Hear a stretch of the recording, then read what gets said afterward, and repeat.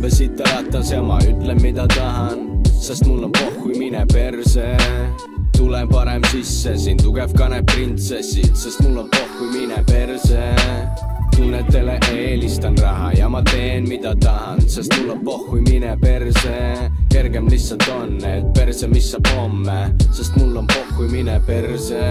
ma olen kandnud seda sõrmust, mis on algusega põrgust, ei näinud valgust ega õrnust, sest tuli algu ebaõnn mul. nüüd vandunud, et ma tõrjun endas languse ja põlgust, et poleks minevikust halb mul ega võlgu kurviline nagu Tokyo Drift, kui sõnad salmi panen, kui sa võtad kurvi nägu Kalvi Kalle. ma pole unustanud, kuidas kõik on trampinud varem, ideed, mis tehti maha, teostati, mis ei tehtud, kandsid palet, see on mu tegelik ilme, nii et poleks tegelikult nii kindel, et tead, mida tegelikult siin linn teeb minuga tundis end jälle nagu kaheksateist Evelin Ilves, kui püüdis suudelda enne mind ilgelt, kui lehes pilt ilmnes. tegelikult on mul pohhui, kui su kapsaaeda kivi loobin, sest kui sa katsud, ei pane mind tundma silikooni, aga populaarsed Eestis nagu minijoonid, sest sa kuulsaks, kui hakkad professionaalseks idioodiks. ma olen ülbe sitaratas ja ma ütlen, mida tahan, sest mul on pohhui, mine perse tule parem sisse, siin tugev kanep printsessid, sest mul on pohhui, mine perse tunnetele eelistan raha ja ma teen, mida tahan, sest mul on pohhui, mine perse.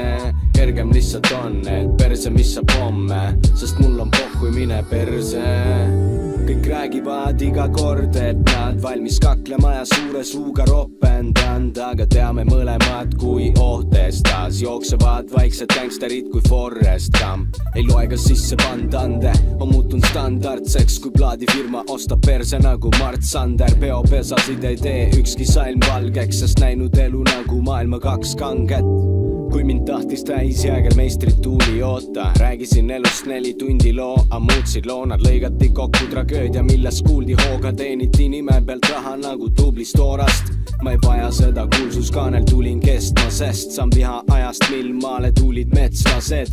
aga teid huvitavad raadiosaatejuhi seksiaated, mind, et lõpuks vaatleks publik tekstiannet. ma olen ülbe sitaratas ja ma ütlen, mida tahan, sest mul on pohhui, mine perse tule parem sisse, siin tugev kanep printsessid, sest mul on pohhui, mine perse.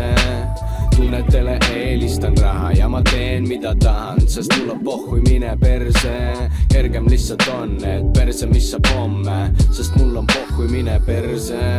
ma ei viitsi enam viimistleda riimidega arusaamist, sest lihtne tekst domineeriks nagu saali, sihin, et ma biidil elaks riimides ja rahu saaksin. Piinlikete artiklitega piiluda eraellu nagu Anu Saagim. Tegelikult on mul hea meel, kui hästi läheb, kes saab maiki liiga kaua, sest ma vaikinud ja see, et löön külge, ei tähenda, et peksa naisi ära kuula igast sitta kättemaksust, kes ka mainiks iga teo ja sõna eest ise vastutan, vaata, onu õpetas küll, et teisi õpi vastu ka saama. tõeline mees ei kutsu sõpru kui kakluse draama, ainult kusik ei seisa ise, kui sõita katust ah maha.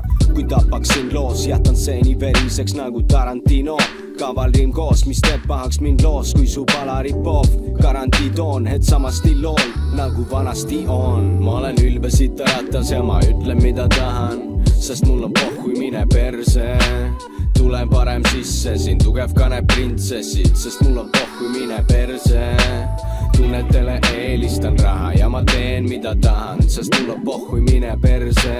kergem lihtsalt on, et perse, mis saab homme, sest mul on pohhui, mine perse. ma olen ülbe sitaratas ja ma ütlen, mida tahan, sest mul on